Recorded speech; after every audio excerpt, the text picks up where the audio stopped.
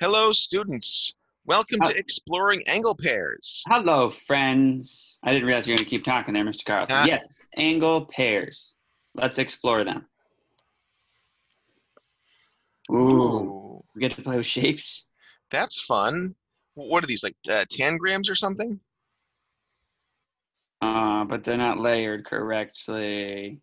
Oh, Bring to front. There we go. they're still not layered correctly Uh, shucks. because they have. Okay. Cool. This is an interesting question. Um, so I'm going to talk about the question that goes with this because we can't actually do what we were supposed to do with this uh, because some of them have borders and some of them don't. uh, so it asks, how could we use angles to help us do this? And to me, I'm going to think about the relationships. Like if I want to make a line with angles, I know I need 180 degrees. We talked about that uh, in our angles video. Uh, so that might be a way if I can get angles to add up to 180 that I could fit things in there. Uh, we also know that this is a square, and one of the things I know about squares is that they have right angles. So if we could find a way to make angles add up to 90, they'd fit into the corners really well.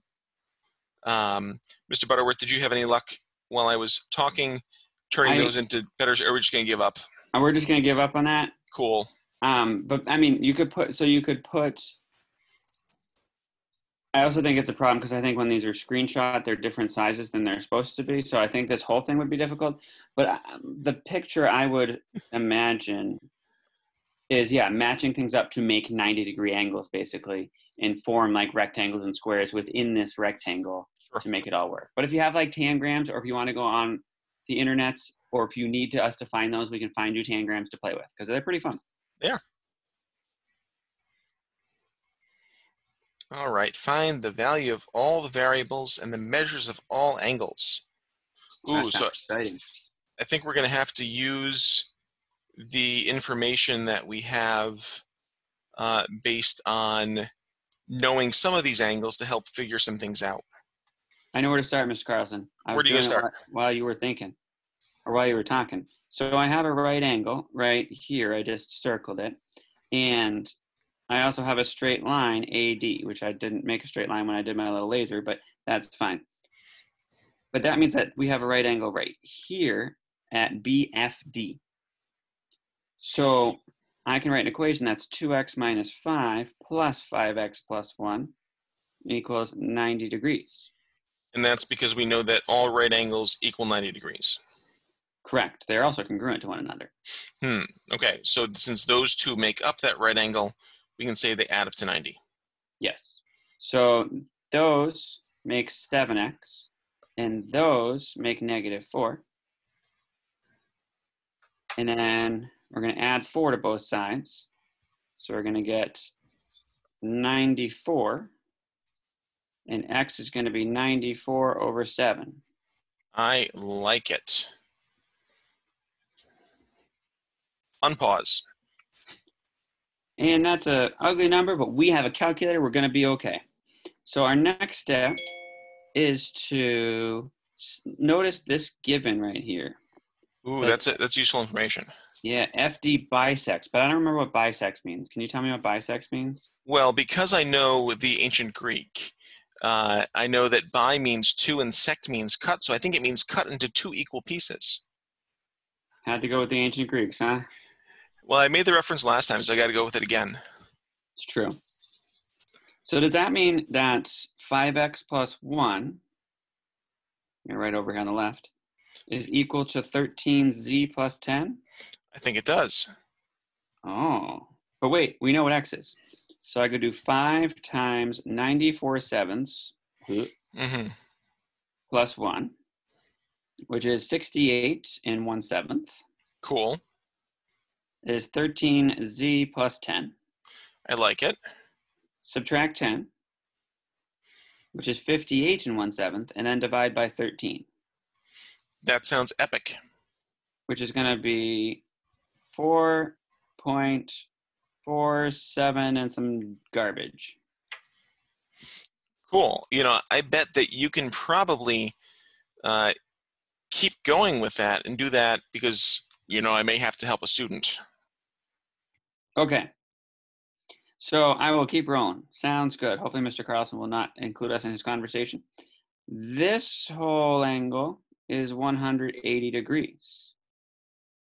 So that means 11y plus 23 plus 13z plus 10 is 180. So what I'm going to do is I'm going to take the 4.47 number that I got, I'm going to multiply by 13. That gets me back to that 58 and a seventh. So that's this number here, 58 and 1 seventh, because I did 13 times that 4.47 number, but I used the exact number. I'm going to add 10 to that, and I'm going to add 23 to that. So I'm going to have 11, nope, that's still a laser, 11y plus 91 and a seventh equals 180. So now I'm just going to do 180 minus 91 and a seventh. I'm going to have 88 and a bit and divide by 11. So that's going to give me 8.0, I'll call it 8.08. Now, it also says I need to find the measures of all the angles. So I'm going to do my best to do that. Let's see. So I do that 8.08 times 11 plus 23. So that's 111.86, we'll call it. I'm just going to mm-hmm. be lazy and subtract that from 180 and call this 68.14.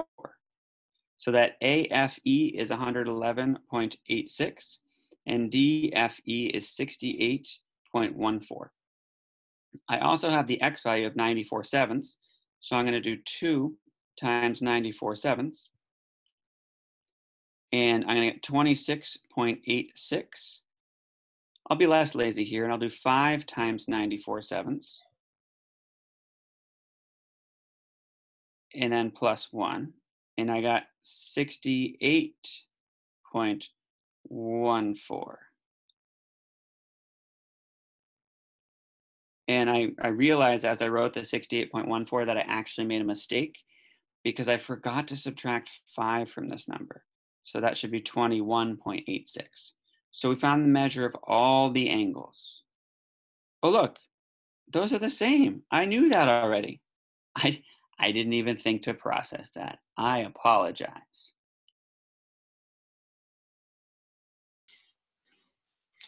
All right, so now we're going to talk about some specific names of some angles that uh, we call angle pairs.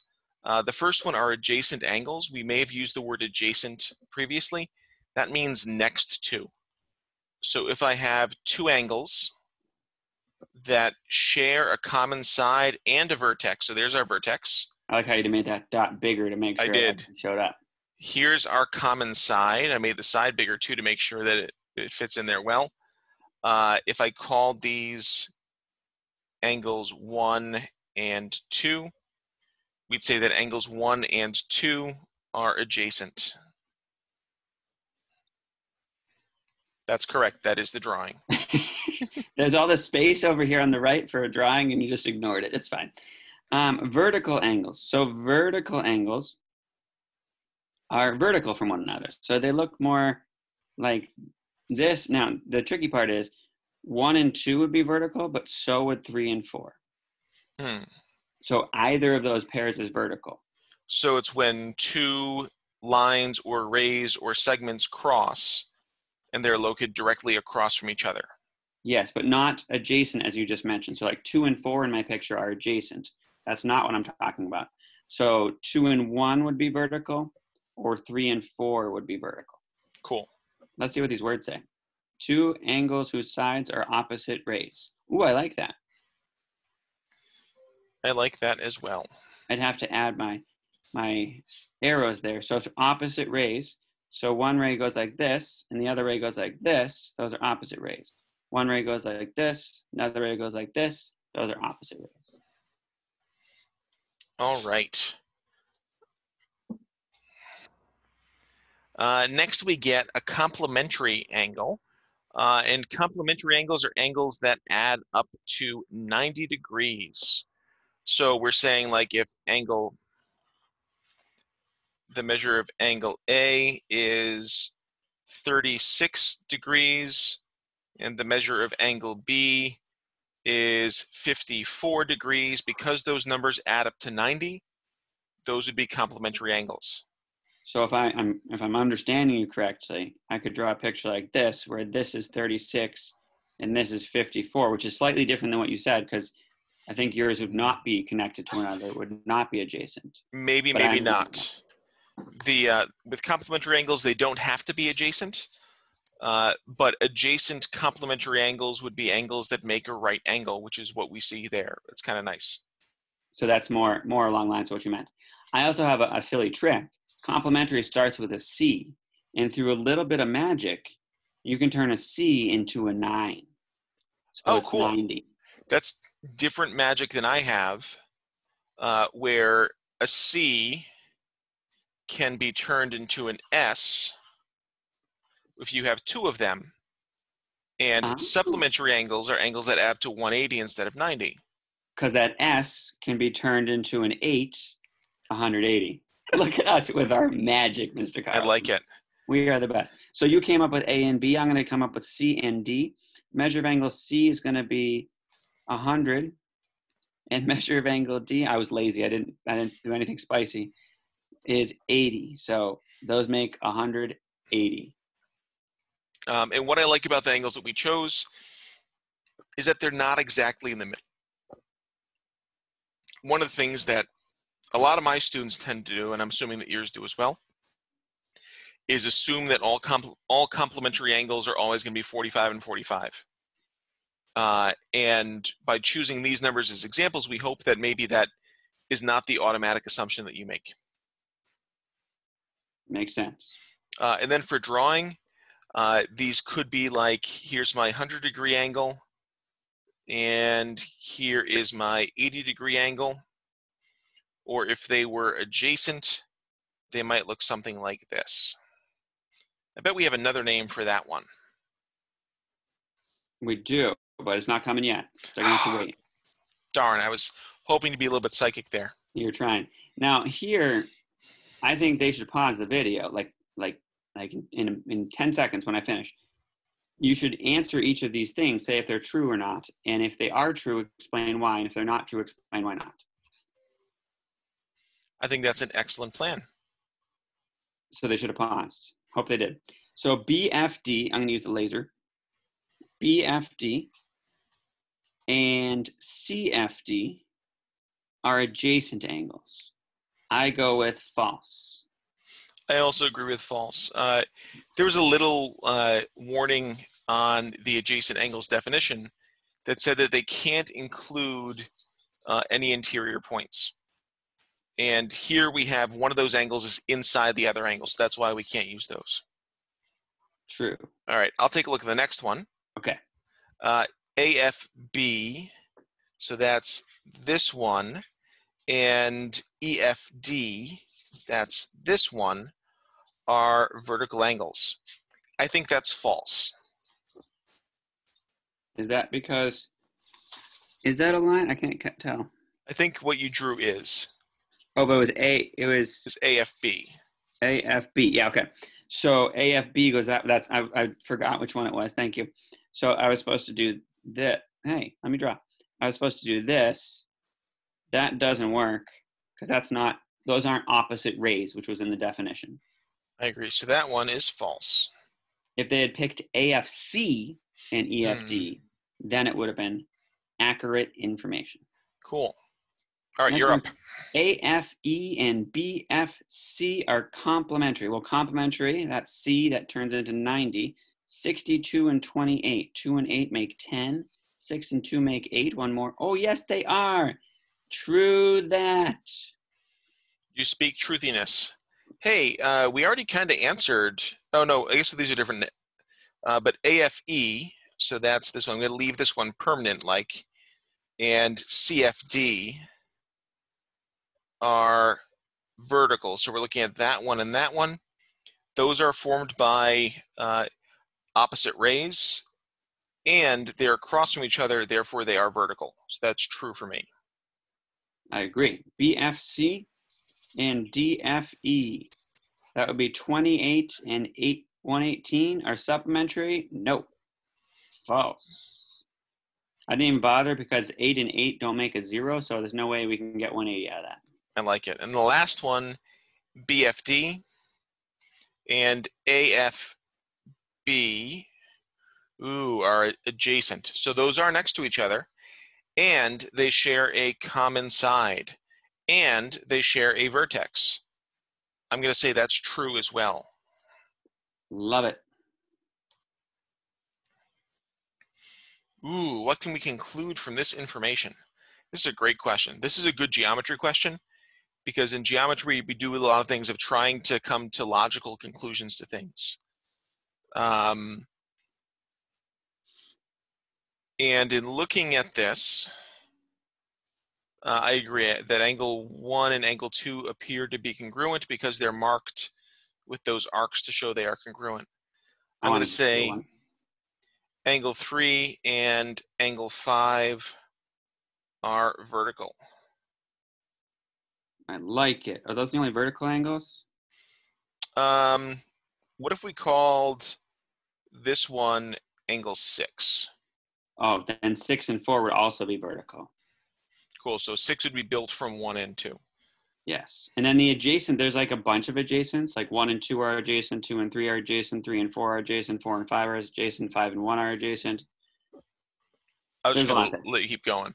I, I uh, something else that I notice uh, is that like angle three and angle four together make a line. So I'm going to say that the measure of angle three plus the measure of angle 4 is going to be 180 because we know that those add up to 180. Similarly, I started writing, measure of angle 4 and measure of angle 5 are 180. Cool. Which actually, if, if, if, they, if they use their brains in there, that gives a hint to some future knowledge. Yeah, and I'm kind of wondering if that's where the intent of this slide was going before we started this. Uh, because if I know these are both equal to 180, there's no way that can be true unless both of those things are equal to each other, right? Yes. So that angle 3 and angle 4 must be the same as the measure of angle 4 plus the measure of angle 5.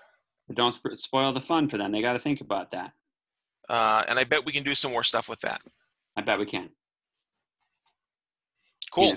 future time. So this next page is just summary. So feel mm. free to pause, read through this, process whatever it is. If you have questions, write them down and ask us in class by all means.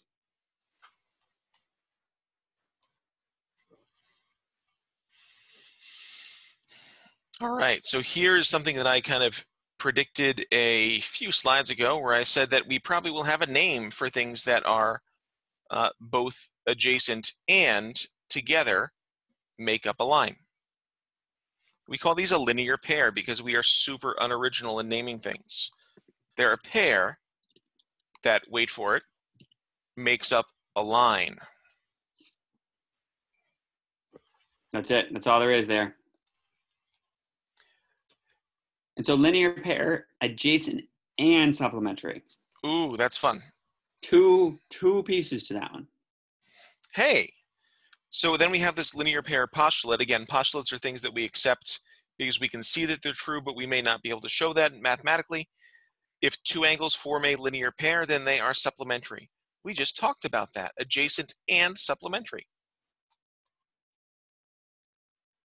Ooh, algebra. So hey. we have a linear pair. So we just learned up learned that those are supplementary. So supplementary, we already heard. So when we take the things also known as angles, and we add them together. And that's because an S looks like an 8, so 180? Yes. That's not one. That's 180. Mr. Carlson, stop confusing them. 2x and 4x is 6x. 24 and 36 is 50, 60. And then 180. They might have gotten confused because I just said 50, 60, but that's because I added the two and the three, Took me a second to process as well. and then the four and the six. Sorry if I confused you with that one. And then subtract 60 from both sides and divide by six. Now, don't think we're done. What you mean? We have to do more math? We do. But Does all we that have mean? to do is plug it in, plug it in. Oh, so like instead of 2x plus 24, that's 2 times 20 plus 24, which is going to be 64. When I'm 64. I knew you were going to do that. And then we had 4 times 20 instead of 4x plus 36, and that's going to be 116. That's a six, children. There you go. And you can double check by adding 64 and 116 and see if that equals 180. It does, because 64 plus 116 is 170, 80. You see what I did there? You're the worst. Ooh, an angle bisector. Uh, we've already talked about this uh, in terms of the language for segment bisectors. Um, and I know personally, I don't like thinking of those as different things. I just like the word bisector means something. And calling them different definitions is kind of silly. I Uh, agree. Let's move on. All right, so this is a bisecting question. Uh, if AC bisects angle DAB and we have that drawn. I uh, just dabbed for them. Don't worry. Cool. So what is the measure of angle DAB? That's the big one. Uh, and if this is bisected, that means cut in half. Each of those pieces is going to be added together to make a whole thing. Uh, so that means that's 58. The only one that even makes remotely sense is 116. I don't even know where 87 came from. Actually, I do, but it's doesn't make sense mathematically. It came from 29 plus 58. I know. I think it's if you misread Oh, it if you think the whole, whole thing- 58. There we go. And then, And then add them up anyway. yeah, it's a book multiple choice Yep. question. All right, the set of all points equidistant from the two endpoints of a segment. Um, that is a true statement. In a plane. Uh, not necessarily. They don't say perpendicular bisector line or plane. Okay. But Uh, you want to stay in a plane. It gets confusing otherwise. this What are you hesitating about? uh, that we're doing, so mathematically, this is called a locus definition for something. Uh, that it's weird that we're giving the locus definition instead of the geometric one first. Oh. Syntax error?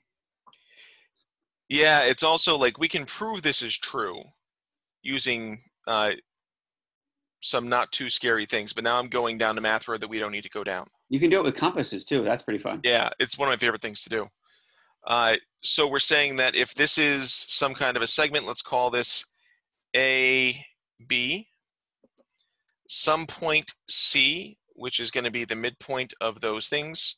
Let's call that M just for midpoint funsies. Um, through this point, if we make a perpendicular line segment ray or plane or object, that is going to be a perpendicular bisector for this segment. So it's cutting it in half, so it's a bisector, and it's perpendicular, it hits at a 90 degree angle.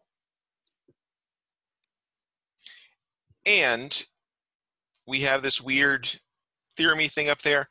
Any point that I select on here is going to be the exact same distance from either of those two endpoints. And that is all we have for you, friends.